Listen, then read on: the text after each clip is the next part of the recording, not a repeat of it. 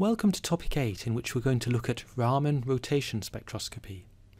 So in the last topic we looked at Raman scattering processes in general and we can we're now going to start applying them to specific process, specific types of spectroscopy. So here rotation spectroscopy. To work out what a Raman rotation spectrum looks like and in order to be able to extract useful information from it, we need to know what the selection rules are. As always, we've got a global selection rule and a specific selection rule. The global selection rule for Raman processes is that the scattering molecule must be anisotropically polarizable. This means that the polarizability of the molecule is different in different directions. So if we had, uh, for example, a diatomic molecule aligned with the electric field, we could imagine that the electron density will be pushed along this electric field.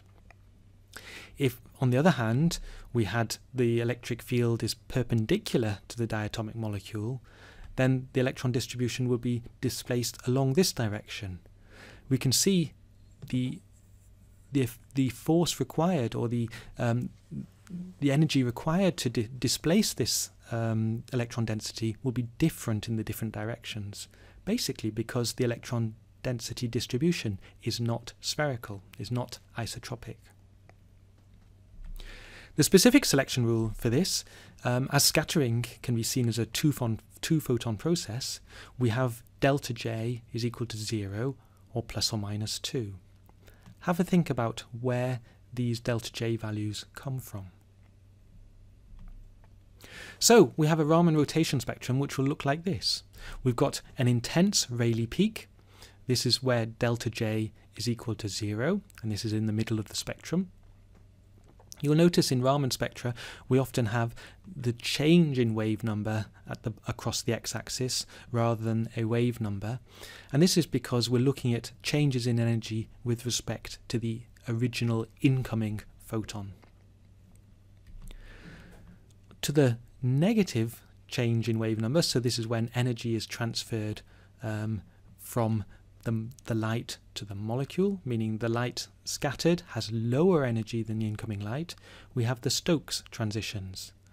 So this is when we have a transition from um, a rotational state with J double primed up to a rotational state of J primed, where the initial state is J and the final state is J plus 2. So this is the delta J equals plus 2 side of the spectrum. On the other side, with the anti-Stokes transitions, so this is where we go from a quantum rotational state with quantum number j to a rotational state with quantum number j minus 2. The intensities of the the various bands are governed by the populations of the of the initial states. So we can see this characteristic um, curve that we saw also in the rotation absorption spectroscopy.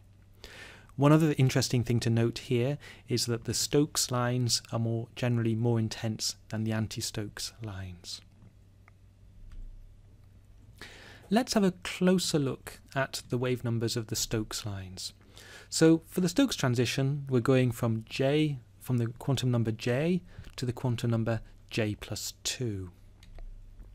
We can work out what the rotational term for a level with quantum rotational number j is from this expression. We've seen that before.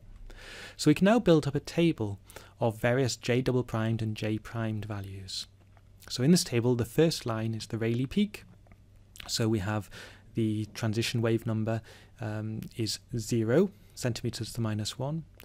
If we're going from j double primed equals 0 to j primed equals 2, we can work out the initial and final um, energies and work out the difference and we get 6b. We can fill in the rest of these, this table and you can see we have values 10b, 14b, 18b and 22b and so on.